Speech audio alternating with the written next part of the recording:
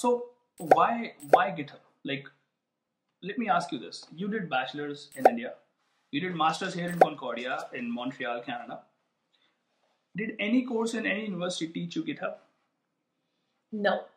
All right. Why don't you teach GitHub to students? I was also never taught GitHub. Did you ever need to use GitHub?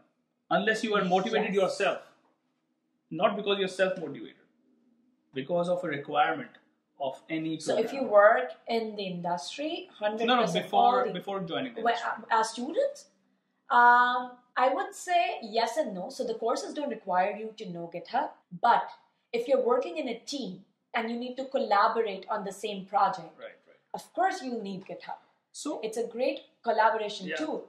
and we are saying GitHub, don't get too technical and start putting hate comments below because uh, GitHub is a UI and I know the technology is Git. Git. But we'll just whenever we are saying GitHub, think of Git, right? Don't don't, attack us on this. And if you use Bitbucket or any other UI platform Yeah. that You, uses you are just Git, weird, but it's fine. I mean, if you're using Bitbucket or you know, yeah, just Uh, replace GitHub with whatever platform your Yeah. platform you're using. do you think any developer job in any company in the world, you, either it's in Russia, Italy, India, Canada, US, can exist without the knowledge of GitHub? Without the knowledge of GitHub or Git, no, I don't think so. What's the first thing a developer is supposed to do when they join a new company? clone the repositories from whatever UI platform the company uses, right? Clone the Git repository, let's say. I still don't know why people don't learn GitHub before they join the industry and why universities don't teach it. But please, if you don't know what GitHub is, you need to learn it. It's the most fundamental way of storing your code, accessing your code, Yeah. doing uh, release management, doing version control. It's a version Everything. control system, Yeah. Git, we see yes. So any changes that you make to your code, you want them saved somewhere, right? Absolutely. If tomorrow you change your mind and you want to roll back to a previous version of your code, Mm-hmm. how would you do that if you just save it locally on your computer? Yeah. And let's say your computer crashes the next day, everything's gonna go. Absolutely. Right? Today, like we use online versions of everything. Everything is on cloud. Mhm. So why not put our code on cloud as well? And. GitHub or Bitbucket or whatever, Git basically is the best way to put your code on the cloud. especially someone who has no idea what Git is, what GitHub is, we are going to right now create a new repository. I will create the repository, I'll be the owner. I'll add Kritika as a developer. So Kritika will act as if she's a new developer, joined in a new company, uh, and I have a billion dollar company, and I just hired this uh, beautiful looking girl, and she's then going to make a pull request. Now, if all of this doesn't make any sense to you, it will make sense to you in the next five minutes. I can promise you that. So I'm going to hit record on my screen and let's get into it. First thing, as we have already mentioned, GitHub is a place. Let's say if you have no idea, things like version control, release management can just confuse people. If you have no idea what GitHub is, it's somewhere you can store your code. Yes, you can store your code in a personal computer, but then a company usually has hundreds of developers, at least five developers, let's say. Now, how will all five developers have the same piece of code? Because if you're coding on your machine and Kritika is coding on her machine, well, her code is different than mine, then how will we sync with each other, right? So we need a common place where you can save the code. Yeah. Think of it as uh, Google Cloud, you know, Google Docs and stuff, Google Docs, whatever yeah, you use. perfect. Yeah. So it's a shared Microsoft Word document if, if you are new to Yeah. programming. So I'm assuming you have a GitHub account. If not, it's a free platform. Just go there, create an account. Once you do that, this is a button which is which means new repository. Repository is like a folder, a directory where you can save your code. When you create a repository, it will ask for a name. So I'll say GitHub intro. I'll make it a private repository. Let's not get worry about any of these fields. They will just confuse you. I'm just going to click on create. It's still public, but never mind. It's public. Yeah, I wanted it to be public. That's fine. Now, this is what I have. It gives me some commands I can run, or it gives me an option to open in GitHub Desktop. GitHub Desktop is just a nice UI app. If you are new to programming and have no idea, you can download that. Or just like me, you can just copy these commands and run them on your terminal. So I'm using a Mac. If you're using Windows, that's also fine. Either way, you should be able to use this. I'm going to just paste the commands that I just copied and push. So what I've done is I've just pushed a new piece of code online. So if I refresh, you see that this repository now has a README file which is saved GitHub intro. Super simple, very very basic concept, nothing new. I just created a file which has GitHub intro written in it. Mhm. Now, if it was a code repo, an actual code repo, what would you have? you would most likely have maybe a Node.js file or a Java file, whatever programming language you're using, right? All right, I've opened that repository. Now, even without actually adding a code to it, let's just maybe keep it very basic, like like what Kritika initially suggested. Right now, I have GitHub intro written.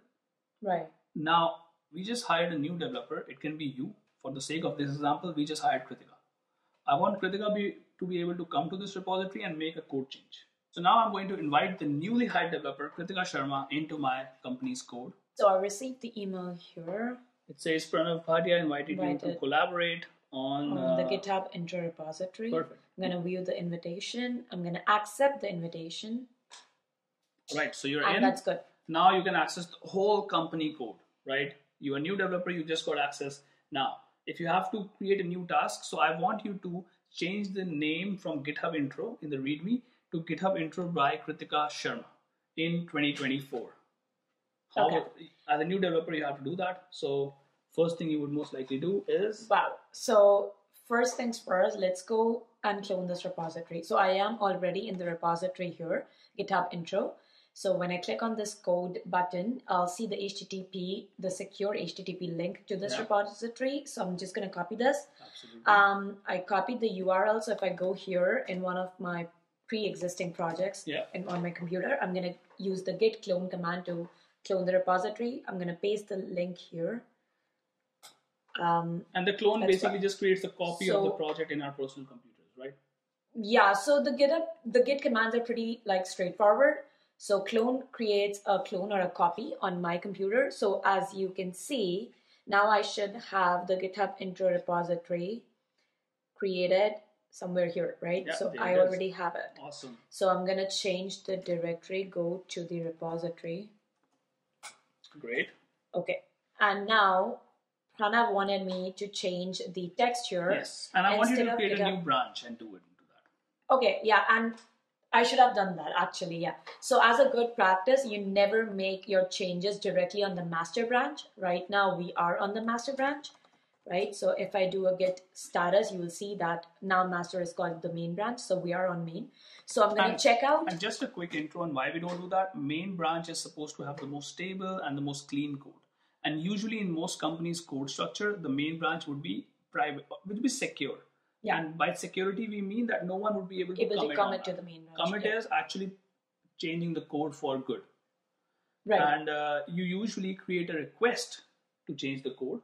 And someone more senior to you, or maybe in your team, would look at your code, would see if you made any mistakes, and only then they would accept, and they would accept your code change into the real uh, main branch. Yeah, we're going to quickly show you the whole process, what that. you just described. So I'm going to check out to a new branch. I will not make any changes on the main branch, right? Perfect, So. I'm going to use the git checkout minus b for the new branch. Branch and then I'm going to put the branch name.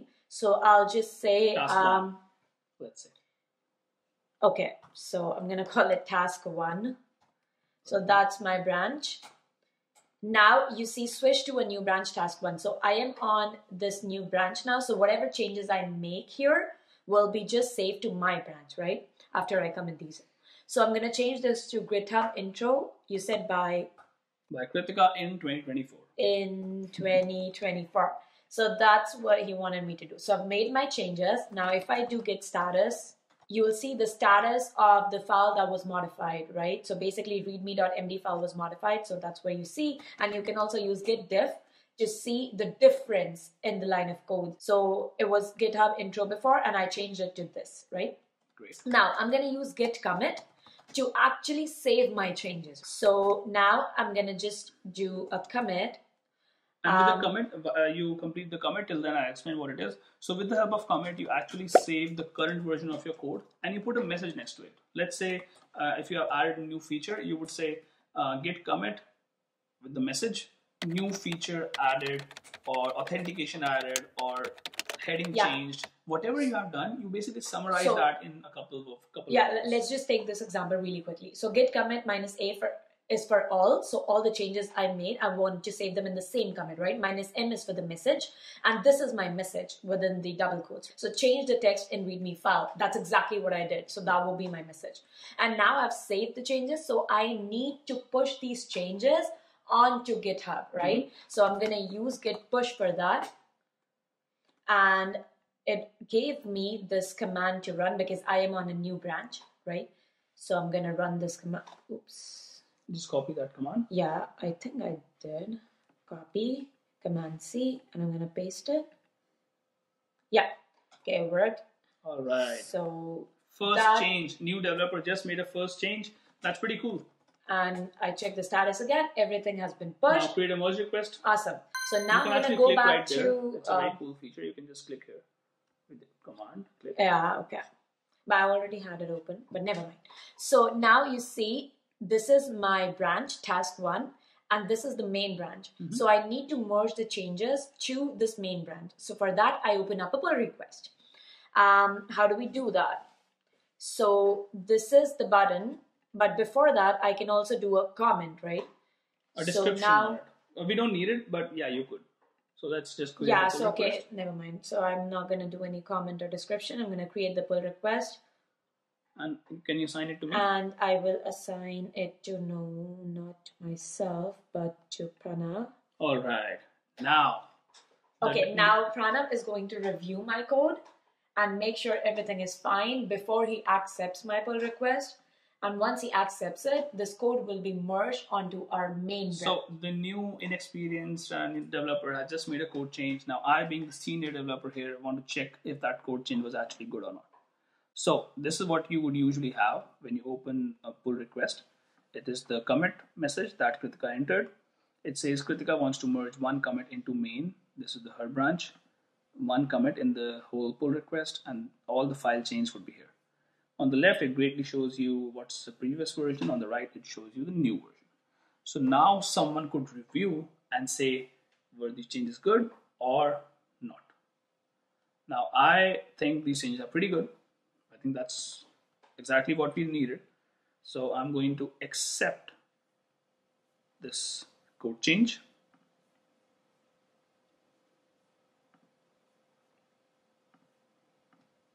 I'm going to approve them. Once we have approved, And there you go. So once Pranav has approved, I have this message in here. So I don't even need to refresh GitHub. See, Pranav mm-hmm. Bhatia approved these changes now. All right, GitHub is taking some time. It's checking some things in the background. That's completely fine. We have already approved the changes, and once we are able to merge it, we would see the new README file. And I want to show you like a pretty cool thing because we could simply check what was the current version of the code, what's the new version of the code, and if ever some uh, error was introduced, we could go back to the old version very easily because you would have multiple commits. Now, while this uh, GitHub does something in the background, let's quickly summarize in 30 seconds what we did. I, being a person already existing in the company, hired a new developer. This can be you if you're a new developer and don't know what GitHub is. Then I told you that, hey, this is your first task, so please do your first task. And I asked her to uh, change the README file, and you can write, see here that the README file is now updated. Now, she, because she didn't know GitHub at all, what she did was she saw this video, then went to GitHub, copied the command, said git clone. Git clone will get, get you the repository in your local computer. Then basically just made the code changes and did a git commit onto a new branch and pushed it. Now I have the ability to check the new changes that Kritika made. If I approve, we'll be able to merge. If I disapprove, Kritika will update her changes. Finally, once the changes are merged, you see that this was the first commit. The status was just GitHub intro. After Kritika's branch was merged, the status is GitHub intro by Kritika in 2024. So we can actually see different versions of our code, different versions of our application, and it's very easy to manage code when you have one, two, three, or even hundreds of developers working in a repository. So it's a pretty cool technology. All companies use it. I highly recommend you to start using it. You just saw like a 10 minute intro on this, and there's so much more you can learn. But uh, if you learn something new, I'm very happy. Cool. So it's been merged, It's been merged. Um, and you yes. can show the master now. The README Yeah. has been changed. Exactly. And now on my end, I can delete this branch here because it's been successfully merged, so I mm-hmm. no longer need that. Perfect.